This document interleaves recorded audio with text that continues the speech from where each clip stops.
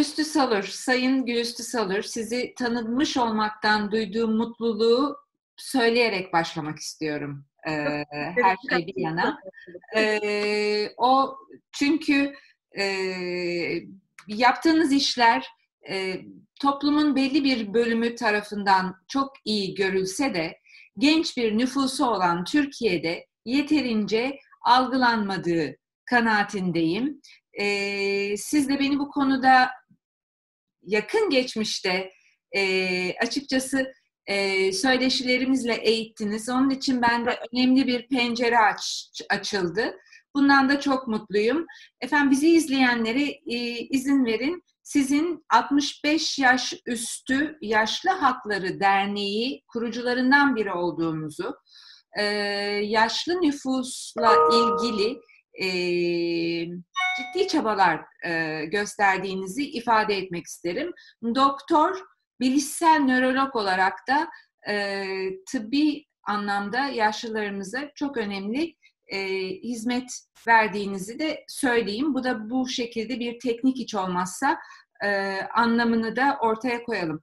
E, Sayın Salur, tabii ki konumuz ne olabilir? 65 yaş üstü e, birden gündeme gelen vatandaşlarımız e, ne kadardır nüfusumuzun içerisindeki yeri? Neden gündeme gel yani geldiler diye sormayacağım. Tabii bir koruma içgüdüsü.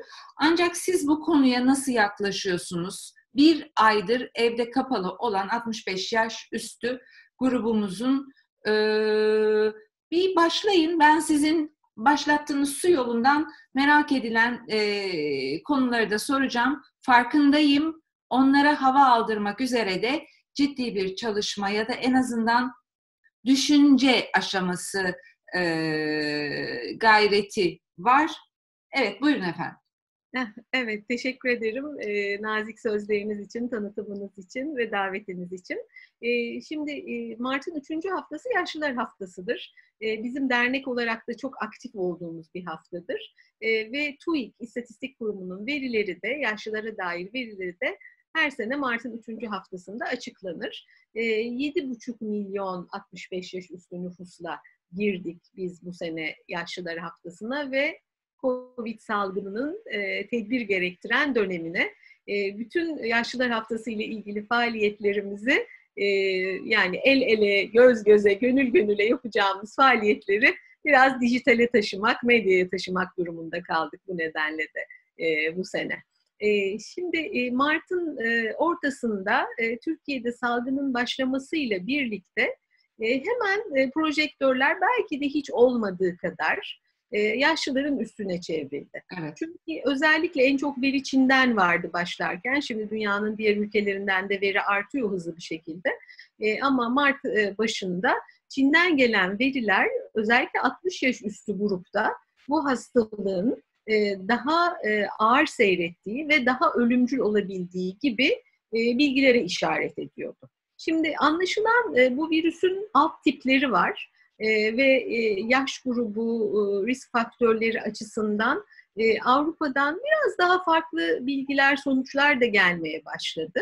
Ama gene de bağışıklık sistemi ile ilgili kırılganlığı olan herkesin ağır hastalık geçirmek ya da e, iyileşememekle ilgili artmış bir riske sahip olduğunu üzülerek görüyoruz. O zaman ne oldu? E, hemen apar topar e, yaşlıları nasıl koruyacağız ve kronik hastalıkları olanları nasıl koruyacağız bu salgından e, gibi bir yaklaşımla çok hızlı bir şekilde e, biraz da aslında e, kolaycana e, yaşlılara özgü bir sokağa kısıtlam sokağa çıkma yasağı, bir kısıtlama getirildi. Yani bu aslında benim yaş grubum işte 1980 e, hatırlayan yaş grubu ve daha büyüklerimiz sokağa çıkma yasaklarına aşinadır. E, işte biraz da nüfus sayımları günleri sokağa çıkma yasağı olurdu. E, ama e, ülkenin çoğunda e, sokağa çıkma yasağı çok tanıdığımız bir şey değil artık. Hele de bir yaş grubunu özgü sokağa çıkma yasağı, sınırlaması e, çok alıştığımız bir şey değildi. Hala da bunu kabullenmekte zorlananlar olduğunu görüyoruz. Kolayca demenizin altında yatan o bir parantez açabilir misiniz? Yani kolayca evet. neden kolayca dediniz? Daha karantinayla evet e, çok e, güzel bir noktaya değindiniz. Onu açmak istiyordum gerçekten. Karantinaya özgü e, tedbirlerin çok özür diliyorum. Hiç önemli değil. Siz herhalde çok aranıyorsunuzdur. Çok özür dilerim sessize aldım. Buyurun.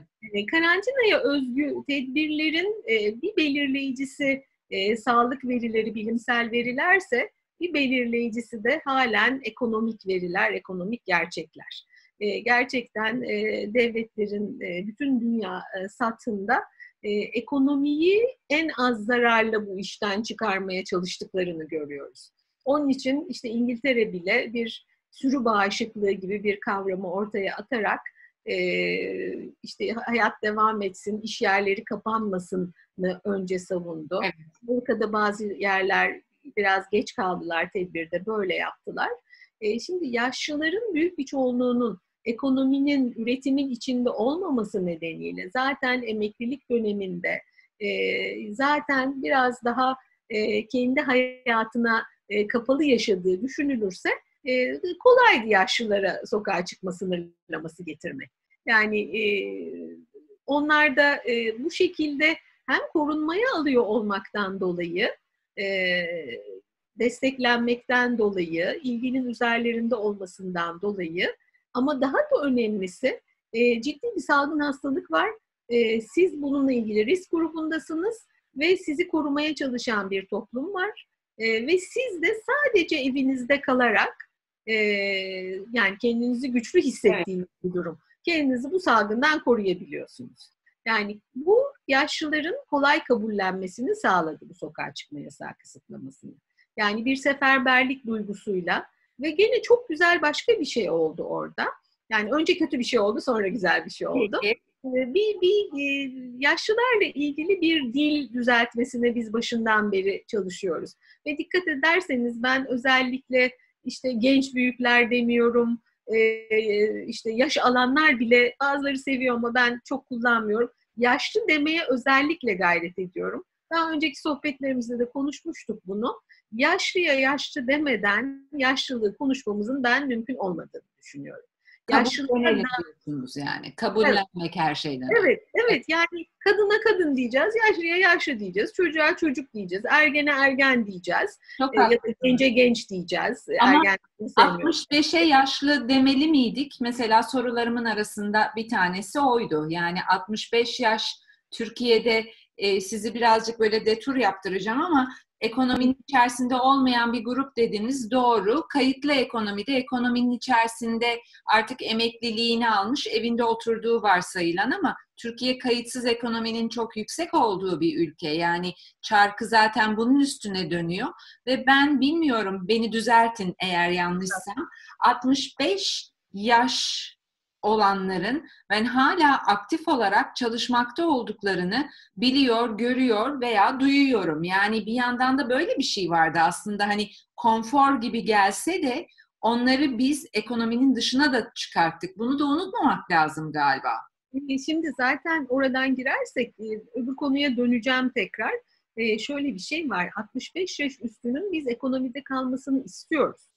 Ve gene şunu düzeltmek isterim 65 yaş üstünde e, yani 65 ile 105 yaş arası diyelim e, öngörülebilir ömür. E, daha ileri yaşlarda görsek. E, yani 65-75 penceresiyle 95 yaşındaki birini e, aynı e, sepete koyamayız. E, Doğru. E, hayatla ilişkisi, ekonomiyle ilişkisi, sağlığı, e, aktivite düzeyi aynı olmayabilir. Çok pardon. Dolayısıyla e, burada e, 65'in e, e, bir sebebi var elbette. Dünya Sağlık Örgütü'nün koyduğu bir sınır. Hatta az gelişmiş ülkeler için bunun geç bile olduğu düşünülüyor. Birleşmiş Milletler'in koyduğu 60 gibi bir sınır da var. E, bazı bilimsel çalışmalar 60'ı sınır alır, bazıları 65'i. E, biz Türkiye'de gene Türkiye orta yaşlı bir ülke kabul ediliyor e, demografi açısından. E, onun için 65'i kabul et, ettik sınır olarak. Mesela bize benzeyen bazı dernekler Amerika'da, Yunanistan'da e, 50'yi bir sınır olarak alıyorlar. Bir evet. emeklilik dönemi ve yaşlanmaya hazırlık dönemi sınırı olarak. Yani burada 65 yaşını doldurmuş bir insana e, sen yaşlısın, sen artık yaşlısın demek değil bu. Ama 60 ortalama 65 yaştan itibaren yaşamın yeni bir evresinin içinde olmak ya da yolunda olmak söz konusu. O dönemin kendi dinamikleri var, kendi değişkenleri var. O değişkenleri tanımak, tartışmak ve hazırlıklı olmak söz konusu. Evet. Yani bunu 65'e koyduğumuz zaman bazı çalışmalarımız var mesela biz yaşlılık ve teknoloji çalışmaları yapıyoruz. Teknolojik eğitimler vermeye çalışıyoruz. Evet. Orada 50 yaşından başlatıyoruz. Evet. Yani 50 yaşlarda olup teknolojik okur yazarlığı yeterli olmayan ve bugünün hayatından bir şeyler kaçırma riski olan kişiler var. Dolayısıyla o konuştuğumuz konuya göre yani öyle düşünecek olursak biz salgınla ilgili bir tedbir alıyorsak aslında bu kısıtlamaları belki 60 yaşından başlatmalıydık. Ve e, e, belki duydunuz biliyorsunuz özellikle üniversitelerde e, çok 60 yaş üstü öğretim görevlisi olduğu için onların kronik sağlık sorunları olanlar e, üniversiteler açık olsa dahi e, bir izne çıkarıldılar ve evden çalışmalarına ya da izinde olmalarına e, müsaade edildi. Böyle kolaylıklar gösterildi. Yani e, sağlıkla ilgili konuların çok kişiye özgü olduğunu da her zaman düşünmemiz gerekiyor. Evet. Ben deminki konumuzu Lütfen. tamamlamak istiyorum. Evet. Şimdi orada yaşlılara e, e, yani onları güçlü hissettirecek ve salgına hakim hissettirecek bir e, rol verildi. Ve o rolü güzel giyindi yaşlılar. Yaşlılarla ilgili iletişim dilinde bazı problemler vardı. E, başlangıçta işte e, biraz medyada da işte yaşlılar ölüyor, yaşlılar ölüyor, yaşlılar ölüyor dendi. Bu tabii bize çok acımasız geliyordu. Sonra zaten rakamlar da bunun öyle olmadığını gösterdi. İki türlü gösterdi. Maalesef genç kayıplar da oldu. Evet. 80'lerinde 90'larında iyileşenler taburcu olanlar da oldu. Dünyada da Türkiye'de. Yani yaşın tek başına bir faktör olmadığı. E, orada bizim kampanyalarımız oldu. Basında e, sesimizi çok yükselttik. E, zaten dil yukarıdan aşağıya doğru çok hızlı değişti, gelişti, güzelleşti. Sosyal medyada yaşlılara saygısızlıklar çok sert e, cevap gördü. Yani gerçekten e, yaşlıların dalga geçilecek e, nesnelere dönüşmesi çok hızlı engellendi. Bu da bu e, salgından gene bana umut veren bir gelişme olarak hatırlayacağım bir şeydir. Başka bir şey oldu ve halen devam ediyor. E, sosyal dayanışmanın ve yardımlaşmanın çok güzel örneklerini gördüm. Yani bir hekim olarak önce hekimlere gösterilen saygının ve desteğin e, yerini bulmasını gördüğüme çok mutlu oldum. Ama onun ötesinde de özellikle evine kapanan ve ihtiyaç sahibi yaşlılara çok hızlı yardım paketleri, işte valiliklere bağlı vefa destek grupları kuruldu. Evet. Yerel yönetimler e, çok hızlı bu destek mekanizmalarına dahil oldular. E, sağlıkla ilgili de biz başında dedik ki aman evinizde durun ve acil olmayan şeyler için sakın hastanelere gitmeyin dedik. Ama şunu hatırlamamız gerekiyor. Bu dinamik bir süreç. Şimdi bir ayı geçtik ve bir ayın içinde ne oldu? İnsanlar sıkıldılar. Yani bir tarafım diyor ki bir hekim olarak e, sağlık personeli başta e, çok yüksek risk birçok insan için devam ederken e, biz sıkıldınız çıkın o zaman sokağa deme lüksüne sahip miyiz insanlar? Ya da ben kendi adıma e, bakın mesela sokağa çıkma yasağı günlerinde ben bir hekim olarak çıkabilirim. E, ama gerçekten hekim kimliğimle çıkmam gereken haller dışında keyfi, alışveriş için, sosyalleşmek için asla çıkmadım ve çıkmam. Yani burada bir e, kuralın, kısıtın, yasağın mantığını siz zaten kavramıyorsanız, e, yani hırsıza kilit dayanmaz, e, kimseye yasak dayanmaz. Sanıyorum.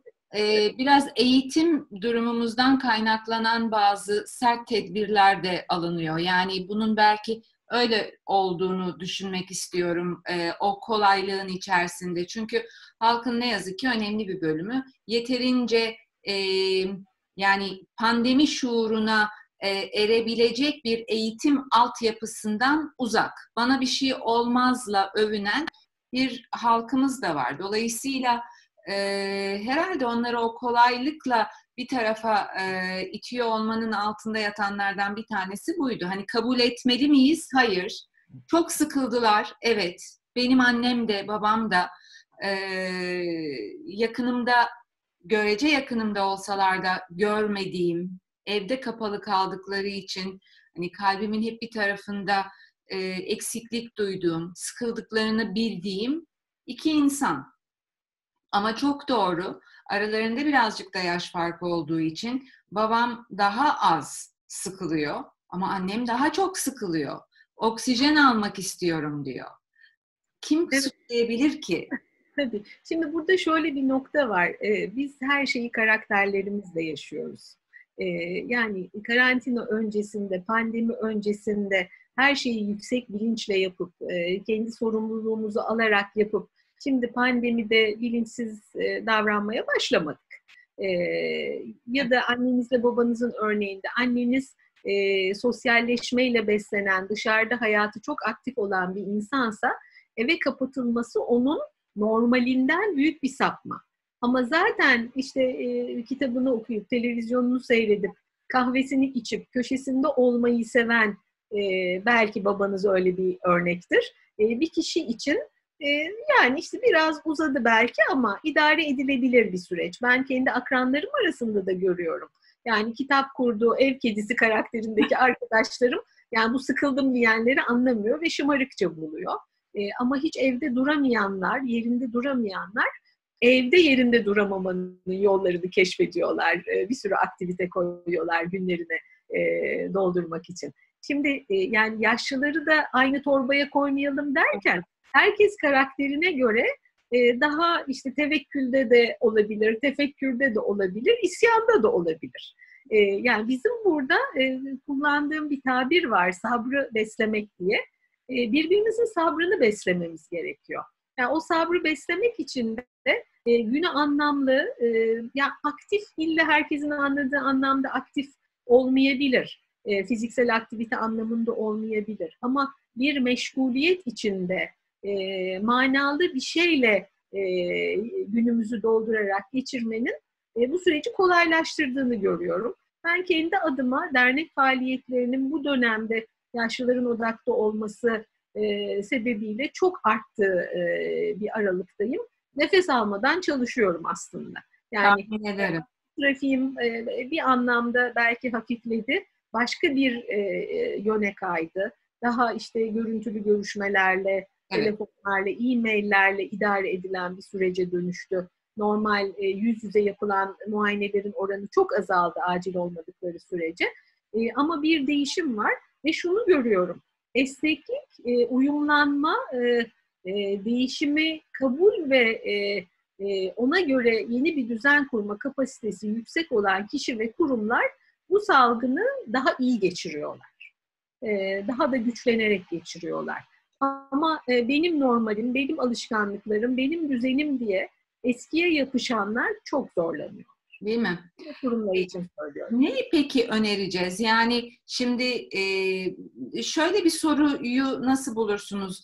Biz hobisi yani hobi fakiri olan bir e, şeydeyiz. Bu herkes için geçerli değil ama genel itibariyle kaç tane insanın, ne kadarımızın ya da değişik değişik hobileri vardır? Bir, bir bu aklıma geliyor. Diğer taraftan e, evet 65 yaş 50 dediniz yani dijitalleşmede makasın açıldığını görüyoruz. Demek ki orada çok büyük bir şey var. Bunu unutmamak lazım.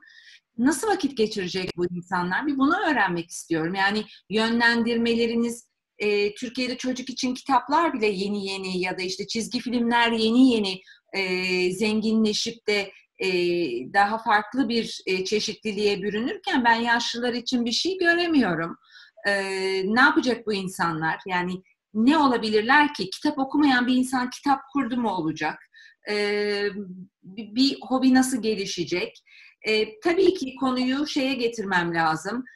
Oksijen alabilecekler mi? Almalılar mı? Dışarı çıkmalılar mı? Bu konudaki görüşünüz ne? Ee, yani oksijen tabii ki almalılar. Oksijensiz olmaz ama oksijen almalılar mı biraz? Yani karantinanın sebebi neydi? Bir kere onu hiç unutmayalım. Başından onu unutmayalım. Benimki e, akışı belki tamamlayarak buna gireyim müsaadenizle. Tamam. Şimdi e, tamam yaşlıların sabrı taştı. Sosyal medyada kampanyalar başladı. İşte park izni çıksın, Avrupa'da alışveriş için işte saatler ayrılıyor, yürüyüş için parklara gidiyorlar vesaire falan filan. E, ama işte ne kadar parkımız var o ayrı bir konu. E, hatta demin sizin söylediğinize istinaden şöyle bir şaka biz aramızda yapıyorduk. E, Twitter, e, sosyal medya mecraları e, Norveç'e göre taleplerde bulunuyor ama biz yani burada e, Türkiye koşullarını yaşıyoruz. Yasaklar da Türkiye koşullarına göre koyuluyor. Yani herkes mesela alkollü araba kullanılmayacağı bilincinde olsa herhalde alkollü araba kullanma yasaklarının ve uygulamalarının bu kadar ciddi olması gerekmezdi. E, o zaman kurallar maalesef kuralsız yaşama ihtimali olan azınlık da olsa kişilere göre koyulmak zorunda kalıyor. Ama tabii bu kadar büyük bir kısıtlama, bu kadar özgürlük alanını, hareket alanını daraltan ve artık ne kadar süreceğini öngöremediğimiz bir kısıtlamada birisi gene yazmış 100 metre koşusuna hazırlanıyorduk. Bu bir maraton çıktı diye. Gerçekten bu bir maratona dönüştü. Yani 100 metre nefesi de maratona yetmiyor. E, dolayısıyla ne yapacağız? Mutlaka ve mutlaka karantinaya neden girdik bizi unutmadan tedbir alacağız. Yani e, öyle biri olabilir ki evinde kalıyordur, böyle şakalar dolaştı. İşte e, Umre'den dönen bir hanımefendi e, işte aman sokağa çıkma demişler, çıkmıyorum demiş. Bütün komşular bana toplandı, burada mevlüt yapıyoruz şimdi demiş. Yani siz evinizde, apartmanınızda kalabilirsiniz ama hiçbir kurala uymayabilirsiniz. E, ya da dışarı çıkabilirsiniz ama hiç kimseye 2-3 metreden fazla yaklaşmadan sadece kendi yürüyüşünüzü yapıp e, dönebilirsiniz. Yazlıklarında olanlar, sitelerde oturanlar bunu zaten yapıyorlar. Evet. Ama yani e, bir çok üst üste yaşanan bölgeler var şehirlerimizde e, maalesef. Yani bunlar da biraz aslında bize nasıl hayatları dönüştürdük hayatımızı, doğadan ne kadar koptuk. Gerçekten yani bize eve kapatacak hayatlar e, ancak sürdürülebilir hayatlar olduysa biz bu karantinadan çıkınca neleri değişmeliyiz gibi bir hesaplaşma süreci de aslında bu kişisel olarak da e, kurumsal olarak da. E, yani e, şimdi mesela dijitalleşmede geri kalan kurumların da ben e, zorlandığını görüyorum e, salgın sürecinde. Benzer bir şekilde e, yani hayatıyla, eviyle, mekanıyla, e, kendi mahallesiyle ilişkisi, iletişimi hem mekan düzeyinde hem sosyal e, e, psikolojik manada e, dengeli olmayan kişiler çok zorlanıyor. Yani bu dengeyi de şimdi kriz oldu apar topar kuralım kolay bir şey elbette değil. Ama ne ipucu olabilir burada? E, bir iletişim kanalının açık olması. Yani e, güzel bir lafımız vardır ağlamayana meme vermezler diye. Biz şimdi kadın hareketinde, gençlik hareketlerinde e, bu grupların talepkar olduğunu görüyoruz. Evet. Ve bayraklarını kendileri açtılar. E, Türkiye'nin Yaşlı Hakları Derneği'ni e, kurucularının yarısı henüz yaşlı değil. Yani e, yaşlıların haklarını arayanlar önce yaşlılar olursa, yaşlılar biz bunu istiyoruz derse, bugün biz bir basın bülteni yayınladık dernek e, olarak bu konuda. E, yani lütfen yaşlıları e, hepsini aynı kefeye koymayın ve onların ne istediklerini, neye ihtiyacı olduğunu sorun. Şimdi hobi geliştirme konusunda da e, hobinin ben direkt eğitimle ilgili olmayabileceğini düşünüyorum. Biraz e, karakterle ilgili, büyük ölçüde karakterle ilgili. E, günü doldurmak biraz kadın erkek e, arasında farklı da olabiliyor. Evet. Yani kadınların evde de olsalar günü nasıl doldurabildiklerini biz emekli olan erkeklerin bazılarının çok boş kalmasıyla görüyoruz. Yani bir kadın çalışırken de, emeklilikte de, ev kadınıyken de e, günü bir şeylerle doldurmak ve bir üretimde olmak e, açısından, sosyalleşme, so, sosyalleşmek açısından çok daha e, e, çok yönlü, çok çeşitli gereçler kullanabiliyor, aktive edebiliyor. E, erkekler daha odaklı, e, hele de iş odaklı ve sonradan emekli oldularsa e, yeni bir e, ilişki kurmakta, e, ilişki gereci bulmakta hayatla biraz daha yavaş e, olabiliyorlar. E, o zaman ne yapacağız? E, biz e, kendi yaşlılarıyla, büyükleriyle, e, sosyal çevresinde olan işte konusu, komşusu, meslek gruplarında olan kişilerle e, mutlaka e, bir iletişim kanalını açık tutup e, onlara uyaran vermekle mükellefiz ve bu uyaranları kalıcı kılmakla mükellefiz. Yani Neyi kastediyorsunuz burada bu yani uyarandan? Yani mesela, Şimdi talepkar olsun yaşlılar dedi. Değil mi? Evet yani e, hani İslam bayrağını aç, açın demiyoruz ama talep yani benim şuna ihtiyacım var diye kendisini ifade edebilmeli. Evet. Evet bunu desinler ama şimdi bir talebinizi söylersiniz, iki söylersiniz. Bu talep karşılanmıyorsa yani e, siz konuşuyorsanız kimse sizi duymuyorsa ve cevap vermiyorsa artık susmaya başlıyorsunuz. Evet. Yani o zaman diğer kuşaklar, bazen akranlar o talebe cevap verecekler ve biz şimdi hepimiz gururla diyoruz işte annemizle görüntülü görüşüyoruz. İşte şunu yapıyoruz, hatır soruyoruz, telefonda sohbet ediyoruz. Biz mesela gene dernekte şöyle bir seferberlik başlattık. E bunlar küçük küçük kendi çevrelerimizden de başlıyor. E, annelerine, babalarına anılarını anlattıranlar ve bunları yazmaya başlayanlar var aramızda. Video kaydı alanlar var. Yani bir aile tarihi oluşturma projesine girenler var. E, hani biraz böyle eski albümlerin çıkması insanı geçmişe kendiyle hesaplaşmaya götürür. E, ama genelde de güzel duygular yaratır ve insanı biraz daha e, e, dinlendirir, tazeler ya. E, bunun gibi biraz anılara gidebilmek bir, bir çözüm olabilir. E, ben mesela e, işte anneme telefonla kızımın sevdiği, onun yaptığı, benim yapma alışkanlığım olmayan bir yemeğin tarifini sordum dün. Ve e, çok severek o tarifi tekrarladı bana. Yani aslında belki YouTube'dan da bulabilirdim o yemeğin tarifini ama o anneminki olmazdı.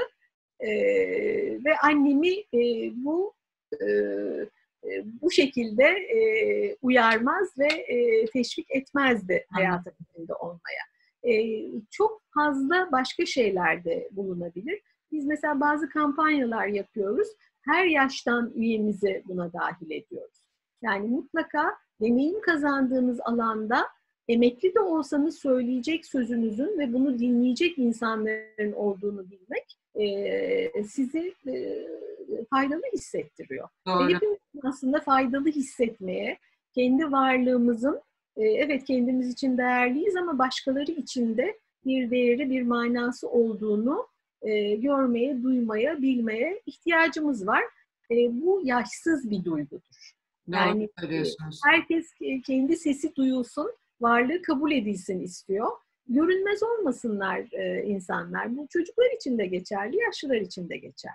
E, Gülistan Hanım size şimdi bu görünmez ol, olmasınlar, sesleri duyulsun derken ben Türkiye'de çok hoşuma gitmeyen bir durum söz konusu. Yani yakın çevremde bunu gözlüyorum. Televizyona e, bağımlılık gibi.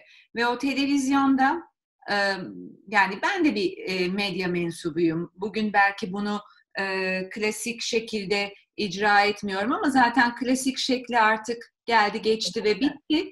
E, şimdi televizyonlar yani uyaranlar dedik, e, iletişim kanalları dedik ve benim aklıma şunlar geliyor. Bu insanlar için herhangi bir iletişim kanalı var mı? Bence yok. Yani sabahtan akşama kadar genel itibariyle olumsuzluk düzeyi çok yüksek olan haberleri dinlemek, izlemek, e, görüntülerle muhatap olmak. E, bu insanların zaten ko- korku yani onlara karşı kullanılan dil dediniz başında. E, o dil yalnızca onları e, saygısızlık ve veya görmezden gelmek değil aslında korkutma dili de olduğunu düşünüyorum. Yanlış düşünüyorsam lütfen düzeltin. Ama bütün bu e, e medya o şeyinin dairesinin içerisinde ben kendilerine hiçbir yer bulamadıklarını kanaatindeyim. Yani evet diyebilirler bize göre bir kanal açılsın da denilebilir belki. Ama e, yani buna ne diyorsunuz? Nasıl kısıtlayabiliriz? Susmam Yaprak Hanım. Ee, bir kere ta dernek kurulmadan önce e, benim böyle stratejik plan e, diye ortaya koyduğumuz metinde e, hatta medya mensubu e, dostlar da var aramızda. Onların biraz itirazına rağmen koyduğum bir şey vardı. Bir yaşlı temalı televizyon kanalına ihtiyaç var görüşü. E, şimdi bütün katıldığım e, medya yayınlarında da salgın boyunca medyaya çok rol düşüyor, çok görev düşüyor. Çok söyledim. Şimdi televizyonun hala büyük bir gücü var. Biraz da dijital dünyanın yaşlıların hayatında daha fazla yer almasının e, tabii doğru kullanımla e, bunun için de faydalı olacağını düşünüyorum. Çünkü içerik seçmekle ilgili e, gücümüz biraz daha fazla.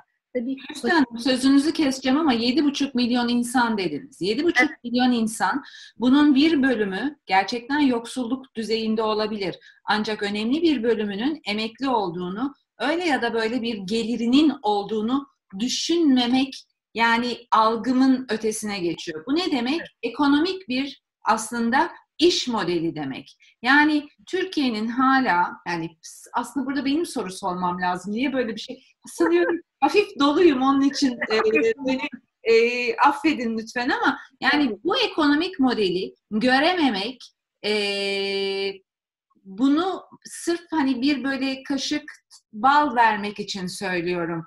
Bunun reklamı da var. Bunun herhangi bir başka e, şeyleri de var, kazancı da var.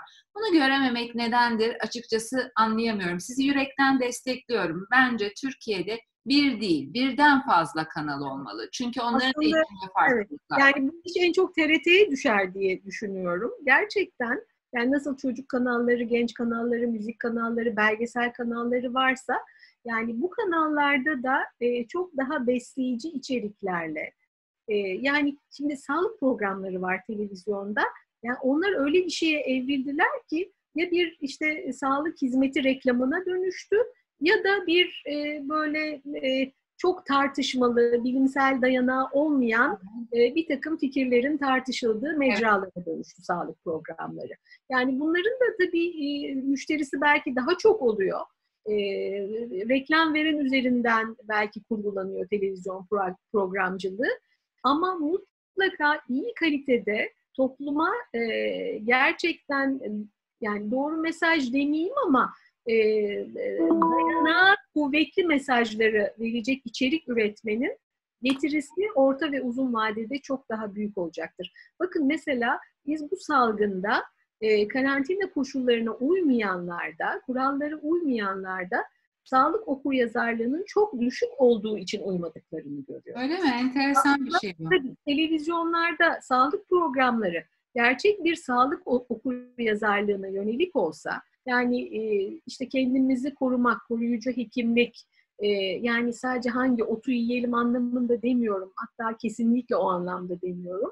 E, ama işte ilaç kullanıyorsak doğru ilaç kullanmak, kullandığımız ilaçların adını bilmek, doğru beslenme nedir onu bilmek, fiziksel egzersiz neden önemli, hareket neden önemli onu bilmek, bu örnekleri çoğaltmak, bunları konuşuyor olmak, ya da ne bileyim işte bir yaşlı temalı televizyon programında e, her gün e, o mevsime göre e, bir yemek tarifi yapılması bile çok önemli. Çünkü evet.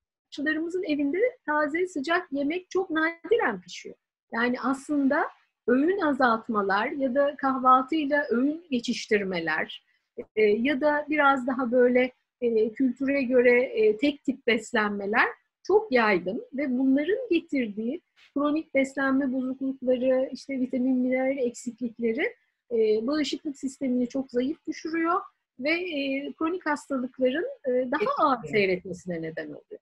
Şimdi bütün bunları siz güzel güzel anlatırsanız eğitimden de genel eğitim okur yazarlık seviyesinden bağımsız bir şekilde doğru mesajı e, verebilirsiniz diye düşünüyorum. Keza fiziksel hareketlilik yani 15 dakikada bir bir televizyon programının içinde bugün ne kadar yürüdünüz diye arada hatırlatan bir ses olsa mesela. Ee, kamu bir spotu diyorsunuz. Evet. Kamu spotları. Kamu spotu olsa. ee, peki e, bugün ne kadar yürüdüğünüzden yola çıkarak şunu sorabilir miyim size? Şimdi eğer yaşlılarımıza e, diğerleri hafta sonu evde kapalıyken onlar hadi siz çıkın biraz yürüyün bakalım, biraz oksijen alın demek hiç kimsesi olmayan bir yaşlı bunu nasıl yapacak? Ee, bu, buralarda tabii mükemmel iyinin düşmanı. Ee, eskiden nasıl yapıyorduysa öyle yapacak. Bir de burada ihtiyaç sahipleri için bir refakatçi eşliğinde yapılması gibi bir önerimiz elbette var. Ee, bir de e, tabii e, bu serbesti olduktan sonra da gene de karantinayı sürdürmeyi tercih edenler de olabilir. Yani Tabii ki. bir hakkın tanımlanması, o hakkı e, herkes kullanacak ve kullanmak zorunda anlamını da taşımıyor. Biz elbette herkesin bir havalanmasını, hayatın içinde olmasını önermekle birlikte kendi adına risklerin büyük olduğunu düşünen, imkanı olmayan e, ya da çıktığında e, yeterince korunmayacağından kaygısı olanların gene de başından niye karantinadaydı hatırlamasını isteriz. Tamam. ve yani sanırım bayrama kadar en iyi tahmin bayrama kadar bu kısıtlamaların devam edeceğini öngörüyoruz. yani inşallah yaz boyu sürmesi gerekmez. Kötü senaryoda biraz yaz sonunu bulması. En kötü senaryo umarız iş oralara gelmez. sonbaharda bir ikinci dalganın yani bir tedavi ya da aşı gelişmemesi halinde, halinde. yeniden yaşam biçimimizde daha uzun sürebilecek bir değişikliğe yol açması ihtimali. Yani o zaman biz demin dinamik olmaktan bahsettik, değişiklikleri karşılamaktan bahsettik.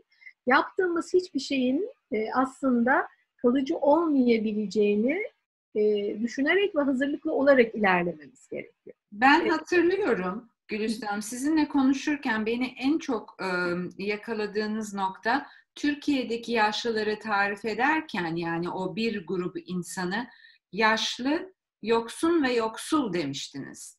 E, sonra size şunu sormuştum, onun üzerinden gidip şimdi yeni sorumu sorayım. Türkiye'de yaşlıların ilk üç problemi nedir diye sormuştum. Orada bana yalnızlık, kronik hastalık, ve yoksulluk demiştiniz. Yani bizim yaşlılarımız yoksullar. E, hayat standartları giderek daha e, büyük ekonomi e, gerektirirken onların gelirleri belli bir düzeyde kaldı ve kalmaya devam ediyor. Hatta eriyecek yani bunu da zaten tüm ekonomik modeller gösteriyor. Fakat bu insanlar zaten yalnızmış sizin ifadenizle. E biz onları şimdi daha da yalnız bıraktık. Onların durumu ne şu anda? Yani size ne tür e, eminim telefonlarınız susmuyordur. E, tabii sizin farklı hastalarınız var ama e, neler değişti bu arada aldığınız geri dönüşlerde neler var benimle paylaşmak isteyeceksiniz? Bir taraftan seferberliğin ilk başladığı günlerde inanılmaz bir dayanışma ruhuyla yardımlar ama kimse aç ve açıkta kalmasın e, yaklaşımıyla gerçekten hayırsever bir milletiz büyük bir e, destek oldu. Destek gördüler. E, ama bunun ne kadar sürdürülebilir olduğunu bilmiyoruz. Birkaç manada bilmiyoruz. Şimdi genç ve orta yaşlıların da e, sabrını, e, imkanlarını zorlayan bir e, süreçteyiz. Yani ekonominin yaratacağı kısıtlamalar, zorluklar hepimizi başka bir yere taşımaktadır şu E, dolayısıyla yaşlılara destek veren, desteği sürdüren kişilerin de e, ruh sağlıklarının e, ve maddi kapasitelerinin devam etmesi gerekiyor ki yani hem kendilerini ayakta tutsunlar hem de yaşlılara destek vermeye e, kişisel anlamda da kurumlar anlamında da söylüyorum devam etsinler. Şimdi belediyelerden e, birlikte çalışma yaptığımız arkadaşlarla dün bir toplantıda konuşuyorduk. Yani bu üç ay daha sürerse belediyelerin bu yardımları yapma kapasiteleri e, zora girecek diye zora girecek. söylüyorlardı. Yani gerçekten bütün dünya ekonomisi öyle bir çıkmaza e, girebilir ki e, biz burada e, yani umalım ki e, gıda konusunda bir yoksunluğa girmeyelim ama e, şimdi ay sokağa çıkmışız çıkmamışız e, tartışmalarının lüks kalabilme ihtimali var. İşte biz yaşlı temalı televizyon kanalı hayali kuruyoruz ama bayrama çıkacaksak bu karantinadan diye kuruyoruz bu hayali. Yani evimizden yaptığımız işlere devam etmemizin de bizi ayakta tutan, besleyen maddi manevi kaynakların tükenmemesi gibi bir koşulu var. Haklısınız. E, onu sadece yaşlılara özgü değil şu anda bu kriz. E, biliyorum ki geriatri uzmanları e, ülkemizde sayıca çok e, fazla değil herhalde değil mi? Yani bu alanda. E, umuyorum artacaklar. Yani çünkü yaşlı nüfusumuz artıyor. E, ama bu noktada psikologlara önemli görevler düştüğünü herhalde düşünmek e, şey olmaz yani gökten inmiş herhangi bir fikir değil. Onların içerisinde bu konuda uzmanlıkları olanlar olup olmadığı konusundaki dağılımı bilmiyorum. Yani e, o da az. Yaşlı özelleşmeli psikolog da az. Yani e, yeni e, ko, hani biraz önce güzel bir şey söylediniz. Koronadan ne öğrendik diye. E, evet hani karantinaya cevap verenler sağlık okur yazarı olanlar açıkçası. E, ama o zaman başka şeyler de öğrenelim biz. Demek ki geriatride daha yani meslek açlığı ve açıklığı var yani. Bu bunu düşünmemek e, mümkün değil. Psikologların televizyon kanalının hiçbir şekilde bir rüya olmadığı kanaatindeyim ve bayramla endekslenmemeli açıkçası. Evet. Ondan sonra ama psikologlar yani ben e, e, o alanlarda büyük boşluklar hani bunu böyle fütürist olmaya hiç gerek yok. Biliyorsunuz o da çok büyük bir moda ya fütürist. Evet. E, yani bu öngörülebilir şeyler bunlar. E, Ve gelecek geldi yani artık fütüristlerin bile hayal edemediği şeyler yaşıyoruz galiba bugünlerde e, gelecek burada yani gelecek için planladıklarımızı dün yapmış olmamız gerekiyordu korkarım. E, psikologlar da, yaşlı özelleşmeli hemşireler de, sosyal hizmet uzmanları da, gerontologlar yetişiyor. Yani bu kişilerin sahada istihdam edilmesi ve karşılık bulması gerekiyor. Ee, yaşlıların e, kendilerine özgü hallerini e, tanıyan, bilen, takip eden, içselleştiren e, ve e, biraz yüzeyel bakmayan konuya e, insan kaynağı gücüne ihtiyacımız var. Bunun hiç tartışılır bir tarafı yok. Ama e, her konunun e, e, devamlı olmasını sağlayan ekonomik gerçekler var. E, demin de dediğiniz gibi e, yaşlılık ekonomisinin ya da gümüş ekonominin e, sadece yaşlılara ne satarız üzerinden kurgulanması değil, yaşlıları üretimin içinde, e, hayatın içinde tutmanın e, getirilerini de e, konuşmamız lazım. E, yaşlıları güçlendirmenin yani e, sosyal güvenlik sistemlerinin yükü değil, besleyicileri olarak görmenin e, daha gerçekçi olacağını düşünüyorum. E, zaten bu yaşlılık tanımlarında iki tane faktör var. Bir, sağlık e, sorunlarının arttığı dönem. İki, e, ekonomik anlamda üretim kapasitesinin azaldığı ya da sıfırlandığı dönem yaşlılık diye kabul ediliyor. E, bunun e, psikolojik karşılığı belki birebir değil ama e, tabii ki insanın sağlığını kaybetmesinin de e, ekonomik gücünü, üretim kapasitesinin azalmasının da e, psikolojik karşılıkları var. E, ama gene de e, o bedensel güç kaybı her zaman insanları yaşlı hissettirmeye yetmiyor. Evet. E, biz bize yaşlı hissetsin demiyoruz. Ama yaşlılığın e, değişik dinamiklerini tanıyalım, kabul edelim ve bunlardan e, kaçarak bunları çözemeyiz diyor. Yok kaçılmıyor zaten yani evet. hepimiz yaş almaya her ne kadar siz onu kullanmıyorsanız da ben başka yok, bir şeyde yok, ben kilometre, kilometre taşı olarak yaş almaya devam ediyoruz. Yani yaşlılık hepimizin inşallah diyebileceğimiz e, önemli bir aslında e, nokta. Yoksa zaten hayat e, çok kısa olmuş olacak. Yani bu da ekonomik açıdan da istenecek olan bir şey değil. Gümüş ekonomi, evet güzel bir tanımlama ondan sonra. Ee, başka ne söyleyebilirsiniz Topar? Biliyorum e, yani ben bu şu vesileyle bir çok sıkılmış 65 yaş ve üstü var. İki, sanki onlara birazcık hadi pencere arıyor, açıyoruz gibi bir durum söz konusu. Ee, ama onun dışında burada öğrenilecek, öğrenilmiş olan, dikkat çekmek istediğiniz başka bir e, ne var? Sizin çok da e, danışanınız olduğunu bildiğim için onlardan zaman çalmak da e, ge, gereksiz e, bir işgüzarlık olacaktır. Onun için e, neyi eksik bıraktık acaba toparlamak yani, adına? genel olarak yaşlı ya da yaşsız e, herkes için bu karantinadan aldığımız dersleri e, geleceğe taşımamız gerekiyor. Böyle bir sorumluluğumuz var.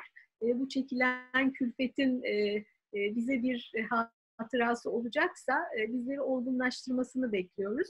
Ve başka bir toplantıda söylediğim bir şeyle bitirmek istiyorum. E, hep işte yeni normal, eski normal diye konuşuluyor. E, ben yeni bir normali tanımlama e, raddesinde değiliz, bir geçişteyiz diye düşünüyorum. Ve bu geçiş ne kadar sürecek bilmiyoruz. Bu geçiş döneminde de eskiye yapışanlarla bir yeniliğin aslında bir değişimin şart olduğunu görenlerin arasında bir mücadele olacak. O mücadelede yaşlılarımızı geride bırakmayalım. Yani yaşlılarımızı diye konuşmak da bir vesayetçi dil olmasın. Yaşlıları geride bırakmayalım. Yaşlıları evet. Geride doğru. bırakmayalım. Yani kuşaklar bir arada bu değişimi yaşayacaklar. Bugün hayatta olan her yaşlı bugün hayatta olan her genç kadar bu hayatı güzel yaşamayı hak ediyor. Çok haklısınız. Yaşlıları geride bırakmayalım derken bu korona evrensel olarak da şunu gösterdi. Pek çok gelişmiş olduğunu düşündüğümüz ekonomide yaşlı evlerinde, huzur evlerinde e, kendi başlarına bırakıldıkları için e, hastalığa yakalanan ve aslında ölümlerin önemli bir bölümünün buralardan kaynaklandığını da gördüğümüz çok ne diyeyim yani tarif edecek tarif edecek bir kelime bulamıyorum çünkü acıklı demek yani onu onu onu hafifletmek anlamına geliyor. E, bence e, başımıza gelmeden bunları ya da herhangi bir komşumuz kendi başına e,